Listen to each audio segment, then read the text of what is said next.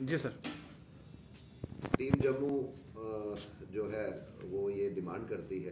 कि जो परिसमन आयोग की इस वक्त वर्किंग चल रही है, सभी की आँखें और उम्मीदें जम्मू कश्मीर के लोगों की ऊपर टिकी हुई हैं। और ख़ासकर जम्मू खिते की बात करें तो हमारा ये मानना है कि पिछले पचहत्तर सालों से जो पॉलिटिकल इनजस्टिस जम्मू खिते के लोगों ने, चाहे वो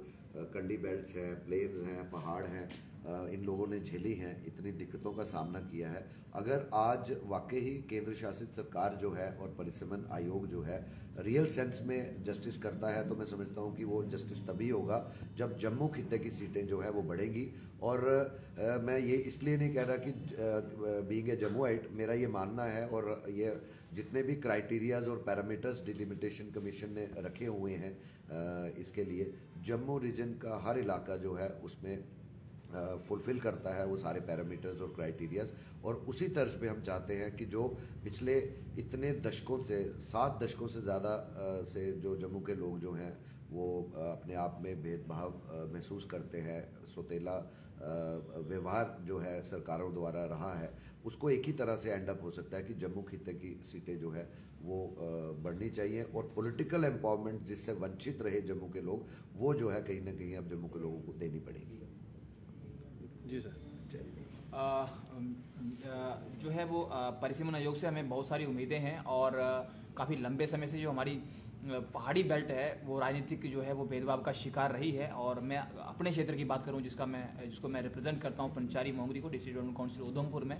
तो आप देखेंगे उसको तीन हिस्सों में बांट दिया गया था। एक हिस्सा जो मोंगरी की हमारी जो बेल्ट है, हमारी पंचायतें हैं, उसको जो है वो रियासी के साथ डाला गया है, कुछ इवन जो हमारी पंचारी की पंचायतें हैं, उनको भी रियासी के साथ डाला गया है। और लांदर और दंदोता जैसी हमारी पंचायतें जो है, उनको उधमपुर विधानसभा हल्के के साथ डाल दिया गया कुछ को चिन्यानी के साथ डाल दिया गया। और इस सब का परिणाम देखेंगे तो शायद यही कारण रहा है कि हमारे जो पहाड़ी क्षेत्र है, वो विकास की दौड़ में बहुत पिछड़ गया है। तो अब क्योंकि परिसीमन आयोग बैठा है, केंद्र सरकार सीधा उसको देख रही है और माननीय हमारे जो उपराज्यपाल महोदय हैं, वो भी बड़ी तेज़ी से इस पर काम कर रहे हैं। तो हम पूरी उम्मीद जताते हैं और डिमांड भी करते हैं, ये मांग करते हैं कि हमारा जो पहाड़ी क्षेत्र है पंचारी मोंगरी को केंद्र में रख के जो है, एक नया विधानसभा हल्का जो है, वो बनाया जाए। और उसके साथ साथ जो है, वो पर्यटन पर्यटन के मुद्दे पे जम्मू कश्मीर सरकार ने काफ़ी कुछ किया है।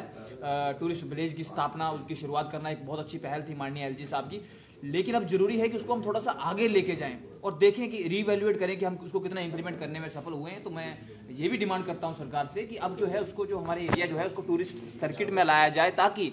रियल सेंस में जो है वो टूरिज़्म को जो है वो डेवलप किया जा सके और उसके साथ साथ जो अलाइड सेक्टर्स हैं, जैसे हॉर्टिकल्चर सेक्टर है ट्रांसपोर्ट है वाटर फैसिलिटी है इलेक्ट्रिसिटी है तो ये सुनिश्चित किया जाए कि ये इन सारे सेक्टर्स पे काम हो ताकि जो है वो ये जो हमारा विजन है जो गवर्नमेंट ऑफ़ जम्मू कश्मीर का विजन है जो हमारा पंचायती राज का विजन है तो हम उसको रियल सेंस में रियलाइज़ कर सकें। और इसके लिए सबसे मैं वहीं वापस आता हूँ कि एक अलग विधानसभा हल, हल्का पंचारी मोंगरी के लिए और उसके साथ साथ पूरे जो है वो जम्मू हिते के लिए जो है वो पोलिटिकल तौर पर जो है वो जस्टिस देना ये बहुत बड़ी शुरुआत होगी। बहुत बहुत धन्यवाद।